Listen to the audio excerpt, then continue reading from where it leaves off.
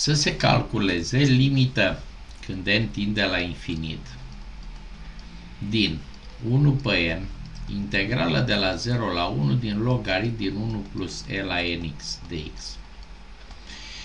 Acum, uitați ce se întâmplă. Aș putea să încerc cu ștos cezarul, că ăsta e limită dintr-un șir pe un șir. Numai că tragedia știți care când fac aici vine logarit din 1 plus e la n plus 1x minus logarit din 1 plus e la nx. Hmm. Nu prea îmi dă frumos. Însă, aș mai putea să fac așa ceva. Eu știu că dacă x-ul este mic, logarit din 1 plus x, ia să fac de curiozitate funcția asta. Ia să o iau pe asta. Cât dă derivata? Derivata dă 1 pe 1 plus x minus 1, 1 minus 1 minus x pe 1 plus x, da? Asta ă, dacă x egal cu 0, asta, pentru, ă, asta 0, x egal cu 0, da? Și eu aș avea așa ca un grafic de variație xf derivat f. Vreau să o fac pentru x pozitiv, că aici sunt pozitive, da? Aici e 0, observați derivata ăsta este pozitiv, minus x e negativ, că x era pozitiv, deci este negativă, deci funcția descrește. Cât este f de, f de 0?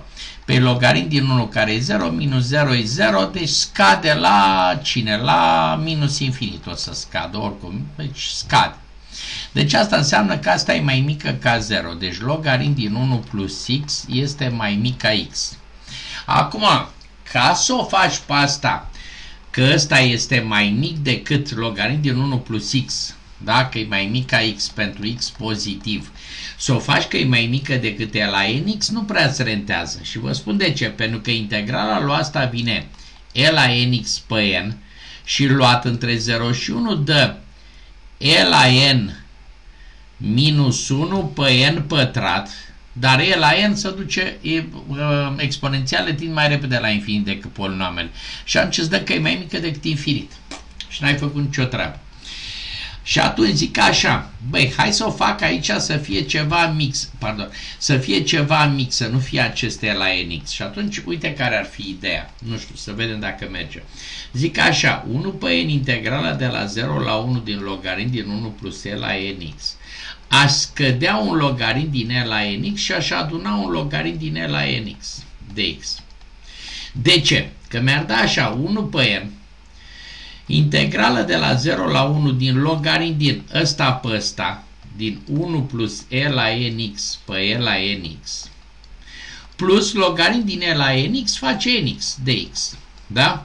Ăsta e egal cu cine? Iau odată integrala asta de aici, 1 pe n integrală de la 0 la 1 din logarit din 1 pe e la nx pe e la nx face 1 plus 1 pe e la nx. Da? Dx plus 1 pe n, scoatem un n de aici afară și mai rămâne integral de la 0 la 1 din x dx. Da? Să simplificăm. Bun, cât este asta? Asta este x pătrat pe 2 luat între 0 și 1 și îmi dă 1 pe 2 minus 0, 1 pe 2. Ia să o văd pe asta. Pe asta am zis că logaritmul e mai mic ca x deci o să-mi dea mai mică decât 1 pe n, integrală de la 0 la 1, decât din 1 pe e la nx, adică e la minus nx dx. Corect? Nu? Că ăsta este mai mic decât x-ul, ăsta era e la minus nx. Bun. Și acum, uh, cât face integrala asta? Uh, bine, plus 1 pe 2 ăsta care, pe care l-am de aici, da? Bun. Integrala asta face e la minus nx pe minus n pe minus n pătrat. Da? Luat între 0 și 1, corect? Nu? Plus 1 pe 2. Adică îmi rămâne așa.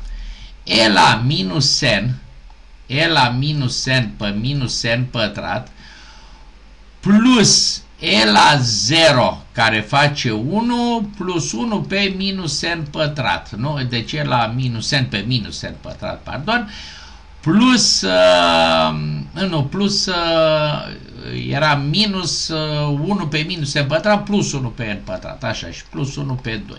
Și acum hai să vedem cât face asta. E la n minus n face e la n jos, deci vine minus e la n ori n pătrat, plus 1 pe n pătrat, plus 1 pe 2. Deci integrala mea este mai mică sau egală decât uh, asta, da? Este mai mic uh, decât asta. Deci la limita, atenție, unde se duce? 1 pe n pătrat e 1 pe infinit să duce la 0, e la n să duce la infinit, n pătrat infinit, 1 pe infinit să duce la 0. Deci limita mea va fi mai mică sau egală decât, iată, decât acest 1 pe 2.